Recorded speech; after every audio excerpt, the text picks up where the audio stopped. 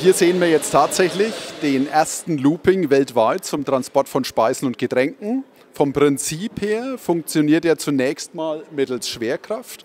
Die Vorrichtungen zum Transport von den Speisen und Getränken, die gleiten rein mittels Schwerkraft die Schiene runter, durchschreiten den Looping und damit wir die Geschwindigkeit dann am Ende des Loopings vereinheitlichen, das heißt zu schnelle Vorrichtungen abbremsen, zu langsame weiter transportieren, haben wir hier einen Förderer dran gebaut, der letztendlich dann die Höhe überwindet und dann auf der anderen Seite geht es wieder mittels Schwerkraft weiter.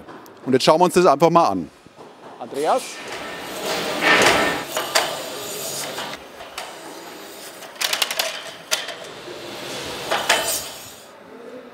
Na denn Prost. Wenn das System dann fertiggestellt ist, dann haben wir Tisch, Tische. Jeder einzelne Tisch hat 13 Sitzplätze. Jeder Sitzplatz hat eine eigene Sitzplatzfarbe.